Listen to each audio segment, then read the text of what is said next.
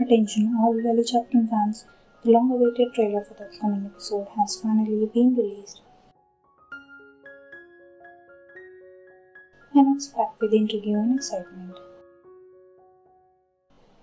Fans are buzzing with excitement as Ferit and Seyran finally come together in a captivating twist. Halis Ağa and Hattuç wedding is a long-awaited event, marking the beginning of a new chapter for the beloved characters. But Pelin, as always, one step ahead, is braving up her own scheme as usual.